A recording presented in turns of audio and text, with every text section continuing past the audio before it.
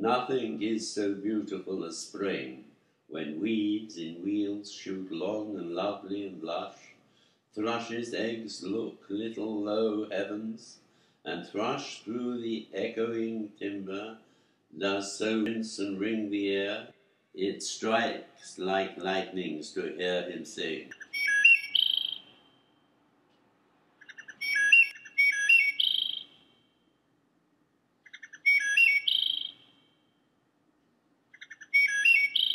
The glassy pear tree leaves and blooms, they brush the descending blue. The blue is all in a rush with richness. The racing lambs too have fair their fling. What is all this juice and all this joy?